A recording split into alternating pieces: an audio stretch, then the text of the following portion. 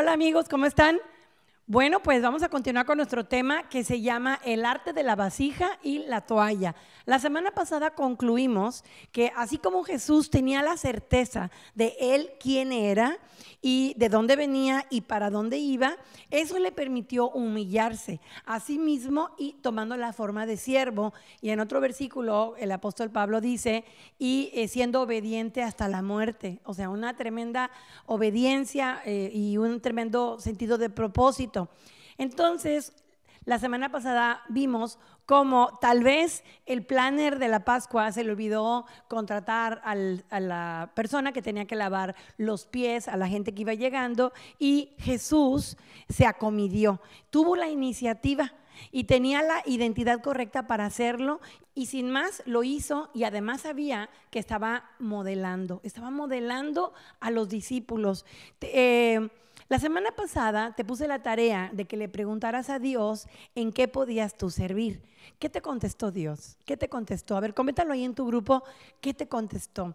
Porque sabes, eh, Dios te dice en lo que tú puedes servir cuando tú lo ves y tú lo notas, a ti te toca. ¿Quién notó que no había quien lavara los pies? Jesús lo notó y tomó la iniciativa y tuvo la identidad correcta y estaba tan bien posicionado que dijo, claro que yo lo puedo hacer, yo lo puedo hacer. Entonces, si tú lo ves, pues a ti te toca. Puedes tomar tú esa iniciativa o la puedes evadir. Fíjate, Jesús notó la necesidad, era obvia para él, así que tomó la vasija y la toalla y asumió esa responsabilidad. Curiosamente, más adelante en esa noche, otra persona iba a tomar la vasija y la toalla, pero era para evadir la responsabilidad y ese era Poncio Pilatos. Poncio Pilatos dijo, yo estoy viéndolo, pero yo me lavo las manos y no tomo no tomó medidas en el asunto. Entonces la, pregunta que yo te quiero hacer es, ¿tú qué ves que falta?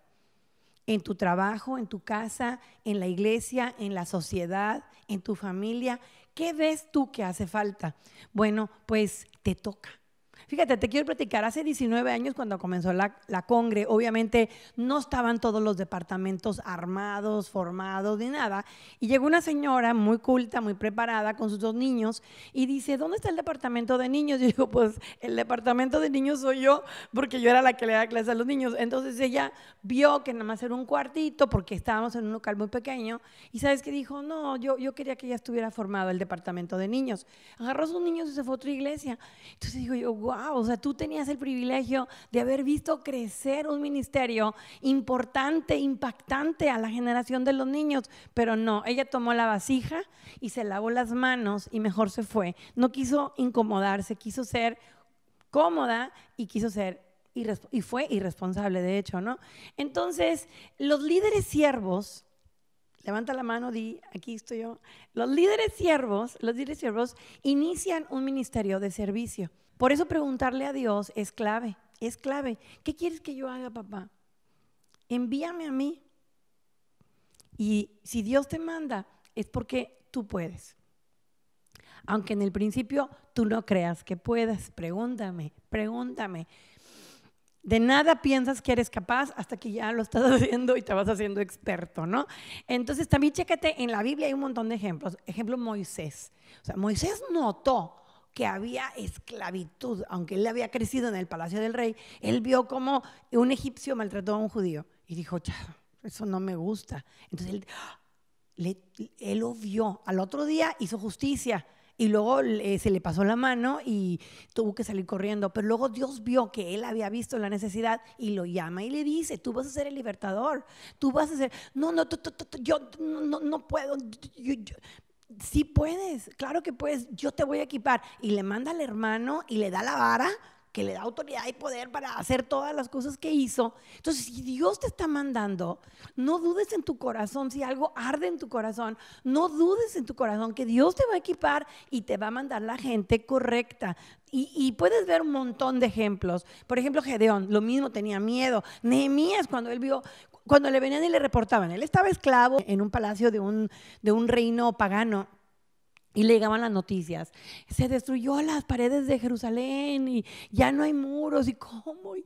Todo el mundo oía la noticia, pero a él le dolió en el corazón y ese fue su llamado y oraba, Dios, si tengo favor, déjame decirle al rey, porque era el copero del rey, era íntimo del rey gobernante de, Babilonia. Entonces le dice, ¿qué es lo que tú? Total que lo equipa, le, le manda recursos, le dice, ve y construye tú tienes tu sueldo pagado, pero tú ve y construye tu muro el muro de tu ciudad. Y se va. Si tú tienes un llamado, Dios te equipa. Te lo prometo. Te lo prometo. Y así tú puedes checar. Puedes checar con, al amor con la reina Esther, que también decía, ¿cómo voy a pasar delante del rey? Y, si no me ha llamado. Y, pero ella estaba viendo que su pueblo iba a ser destruido. Y así puedes ver a María, la mamá de Jesús, que también ella fue llamada en algo que decía, Señor, pero ¿cómo va a ser si yo no conozco varón? ¿Cómo voy a tener un niño? ¿Cómo lo...? Bueno, pues ella dijo, pero yo, aquí tu sierva, se involucró. Todos ellos se involucraron en el llamado. Entonces, tú lo único que tienes que hacer es involucrarte en el llamado. Ahora, los líderes siervos también reciben el ministerio del servicio de otros. Y el ejemplo está en Juan 13, 6 y 7. Dice, entonces llegó a Simón Pedro cuando estaba lavando los pies y le dijo, Señor, ¿tú me lavas los pies a mí? No. Eh, y Jesús le dijo, eh, lo que yo hago tú no lo entiendes ahora, pero lo comprenderás después.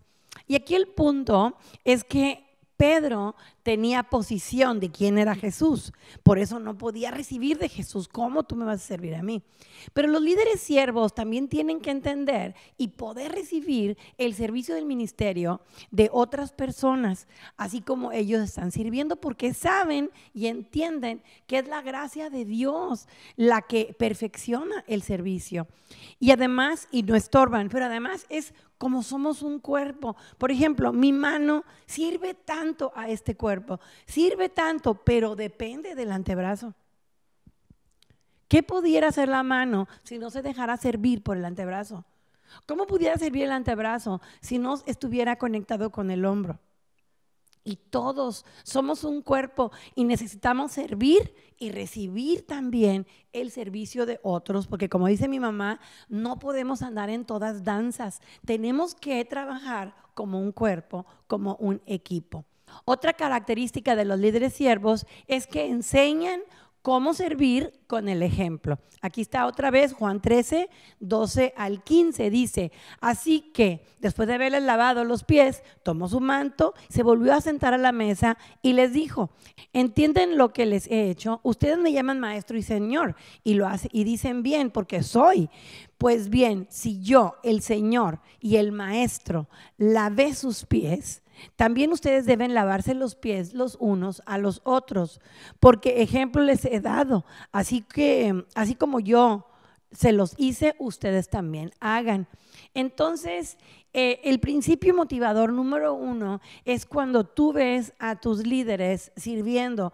Jesús lo sabía, él sabía que era muy importante modelar, pero también no solo lo modeló, sino que también lo instruyó.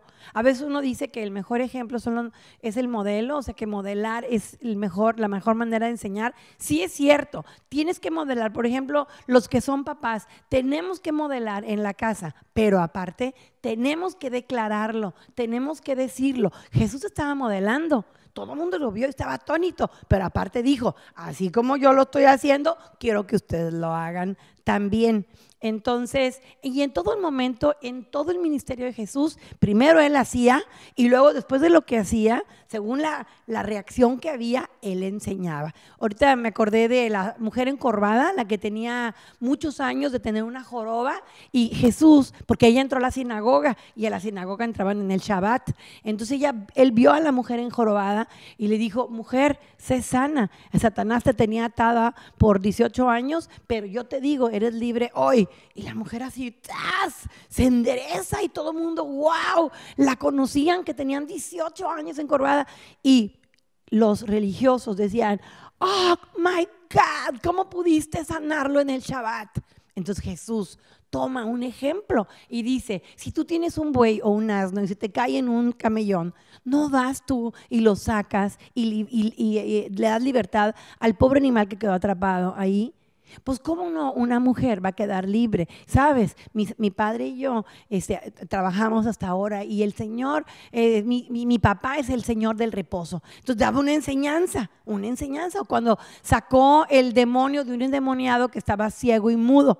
Imagínate, ciego, sordo y mudo, tenía todos los problemas. Él lo ve y dice, este, ¿sabes qué? Está atado y lo echo fuera, este, que seas libre. Y entonces todos, ¿cómo estás echando fuera al diablo en el nombre del diablo? Eh, porque no le creían. Y él le dijo una enseñanza tremenda. Dice, si yo estuviera echando fuera al demonio por Belcebú, entonces estaría, yo, estaría el reino dividido y un reino dividido no puede prevalecer. Entonces deja una super enseñanza. Y así Jesús siempre hacía y luego enseñaba. Acabamos de ver el ejemplo de los pies. Lavó los pies y luego les enseñó. Muy bien. Los líderes siervos también viven una vida bendecida. Fíjate, en Juan 13, del 16 al 17, Jesús está diciendo, de cierto, de cierto les digo que el siervo no es mayor que su Señor, ni tampoco el apóstol es mayor que el que lo envió. Si saben estas cosas, bienaventurados son si las hacen. O sea, qué bueno que las sepas y qué bueno que lo hagas. Ok, fíjate, hay un, eh, un teólogo, médico, filósofo, eh, músico franco-alemán, Albert Schweitzer, Schweitzer, y él dijo algo muy interesante. Dice, yo no sé cuál será tu destino, pero una cosa sé, los únicos que a tu alrededor serán verdaderamente felices son aquellos que habrán buscado y encontrado cómo servir. Wow. En Mateo 5:1, Jesús vio a la multitud que lo estaban siguiendo y subió al monte y se sentó y le dio la espalda a la multitud y se sentó con sus discípulos y les enseñaba abriendo su boca. Y en otras palabras, que en, en el monte de las bienaventuranzas, pero en otras palabras, parafraseados en el tiempo de hoy, les estaba diciendo, ustedes son bendecidos cuando tienen interés genuino en las personas y les importan los demás. Ustedes son bendecidos cuando tienen su mundo interior, su mente y su corazón colocados correctamente. Y entonces pueden ver a Dios en su mundo exterior manifestándose. Bien, bienaventurados son ustedes cuando pueden mostrar a la gente cómo cooperar en vez de competir y pelear. Bienaventurados somos cuando nuestro compromiso con Dios levanta crítica y aún persecución. Pero sabes, no hay gozo más grande que servir a los demás. No hay gozo más grande de saber quién eres, quién es papá, todo lo que ha puesto a tu alrededor, todo lo que puedes ver, que a ti te toca, que a mí me toca, y tomar la responsabilidad de un siervo líder, de un hijo de Dios. Yo te invito a que tú sigas preguntando y que tú digas, yo creo que puedo servir aquí, yo puedo ayudar acá. Esta semana una persona me habló y me dice, pastora, yo me doy cuenta que está usted muy ocupada, que está usted en, cursos de matrimonios, que están en diplomado, que están grabando, que están en esto. Yo le quiero ayudar. Usted más dígame, yo le hago sus presentaciones. Wow, si tú lo ves, a ti te toca. Y es una tremenda satisfacción participar en el desarrollo y en el propósito del cuerpo de Cristo. Muy bien, nos vemos la próxima semana. Que Dios te bendiga.